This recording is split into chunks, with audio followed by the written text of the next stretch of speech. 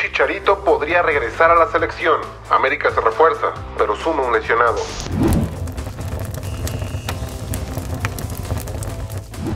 Camaradas, hoy es miércoles 26 de enero y tenemos mucha información porque el Chicharito podría regresar a la selección nacional si pide una disculpa.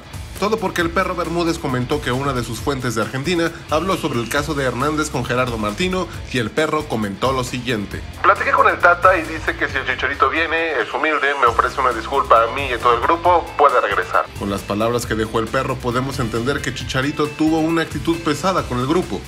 Ojo, Javier siempre ha declarado que quiere regresar al tricolor y creemos que podría ser clave su retorno. ¿Ustedes creen que Chicharito pida disculpas? Dejen su comentario. Camarada, antes de seguir, suscríbete al canal, dale like si te está gustando y si quieres más contenido como este. Camaradas, tenemos buenas noticias porque Eugenio Pizzuto sí se va a quedar en el fútbol europeo, pero no será en España, como decían los rumores.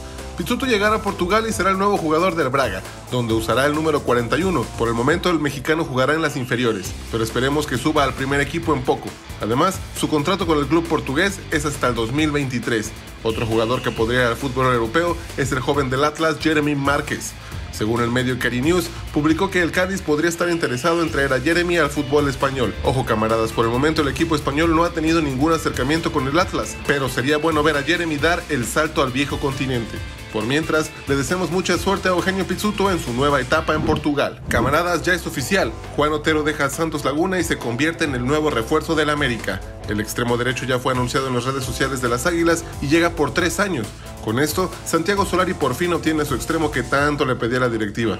Y en este mercado de invierno, el América se reforzó con dos jugadores de Santos.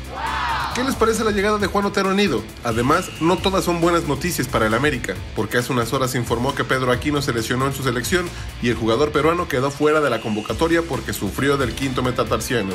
Ahora regresará a nuestro país y el América tendrá que ver su estado físico y se dará a conocer cuánto tiempo estará de baja. Por último, el COVID está pegando muy fuerte en nuestro país y el fútbol lo ha resentido mucho. Ayer se jugó en Mineros contra Cancún de la Liga de Expansión y el juego sería transmitido por la cadena Fox Sports y Claro Video, pero nunca se vio el juego. Esto sucedió porque el ingeniero de la unidad móvil y otras personas encargadas de la transmisión dieron positivas a COVID. Solo la gente que fue al estadio vio la primera victoria de los mineros. Y esto es un ejemplo de que debemos de seguir cuidándonos camaradas, porque si la pandemia sigue aumentando, podríamos ver este caso en la Liga MX. Pero bueno, hasta aquí el video.